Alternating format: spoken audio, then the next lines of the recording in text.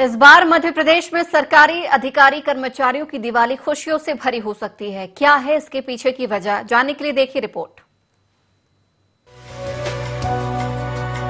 मध्य प्रदेश में इस बार सरकारी अधिकारी कर्मचारियों की दिवाली खुशियों से भरी हो सकती है। सात साल से प्रमोशन पर लगी रोक हट सकती है और पदोन्नति का इंतज़ार कर रहे अधिकारी कर्मचारियों को बड़ी खुशियाँ मिल सकती है।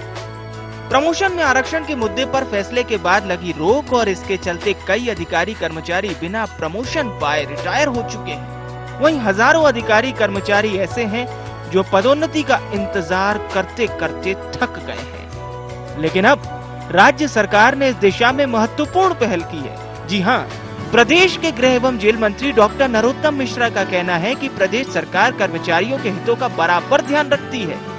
शिवराज सरकार कर्मचारी हितैषी है। दिवाली के पहले कर्मचारियों को खुशखबरी मिलेगी। ये शिवराज सिंह जी की सरकार कर्मचारी हितैषी सरकार है। कर्मचारी भाई थोड़ी प्रतीक्षा करें दिवाली के पहले खुशखबरी मिलेगी। एक और सरकार कर्मचारियों को लेकर सौगात की बात कर रही है तो वहीं दूसरी ओर कांग्रेस इसे लेकर निशाना साधते हुए नज़र आ रही है। पूर्व मंत्री पीसी शर्मा ने कहा कि वक्त रहते कुछ नहीं किया अब वाहवाही लूटने के लिए ऐसी बात कर रही है। अगर ये कर्मचारियों के शुभचिंतक होते तो महँगाई, भत्ता जो कि इतनी महँगाई बढ़ी हुई है, डीजल, पेट्रोल रसोई गैस बिजली, इसमें कहीं ना कहीं ये लोगों को राहत दे देते।